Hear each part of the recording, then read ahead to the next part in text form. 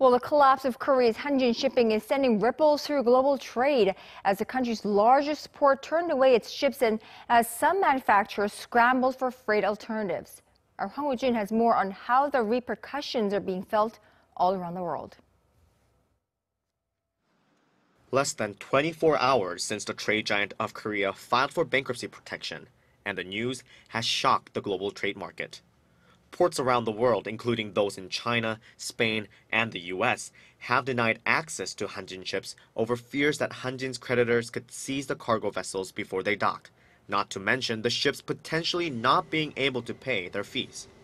In fact, a smaller sized Hanjin vessel, the Hanjin Rome, was seized by a creditor in Singapore late on Monday.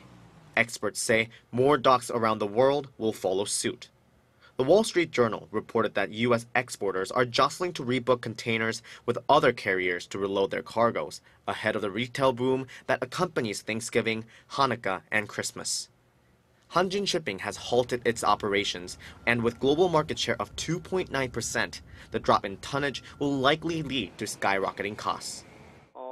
Shipping companies have a lot of customers outside of Korea, so Hanjin's case is rather a global public concern with a greater impact than other companies.